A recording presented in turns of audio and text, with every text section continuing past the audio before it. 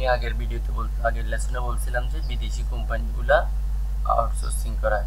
তো আপনার মনে প্রশ্ন জাগতে পারে, বিদেশি কোম্পানিগুলো কেন আউটসোর্সিং হবে তো ওদের দেশে এক টাকা, আমাদের দেশে হচ্ছে আশি টাকা।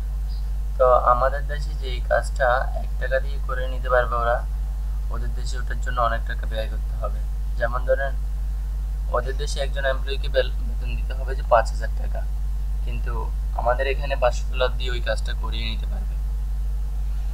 সেই জন্য কস্ট ফার্স্ট প্রায়োরিটি হচ্ছে কস্ট কস্টটাকে রিডিউস করার জন্য তারা আউটসোর্সিং করে।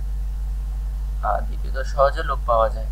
আপনি ইন্টারনেটের মাধ্যমে কানেক্ট হয়ে মার্কেট প্লেসগুলোতে একটা জবের পোস্ট দিলেন, আপনি ইজিলি লোক পাবেন। কিন্তু এখান থেকে একটা লোককে নিয়োগ দেওয়া সার্কুলার দেওয়া পরীক্ষা নেওয়া অনেক জটিল তো সেটার জন্য ওরা আউটসোর্সিং করায় তো আউটসোর্সিংয়ে স্কিল এমপ্লয়ি পাওয়া যায়।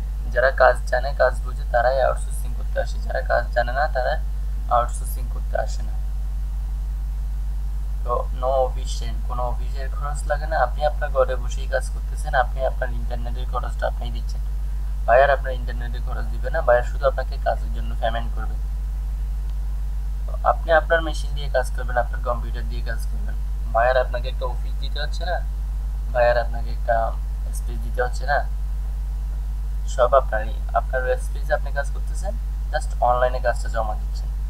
তো no machine cost no maintenance cost strong monitoring আপনাকে করা মনিটরিং করবে। আপনার এখানে পার সেকেন্ড পর্যন্ত হিসেব করবে বায়ার সফটওয়্যারের মাধ্যমে।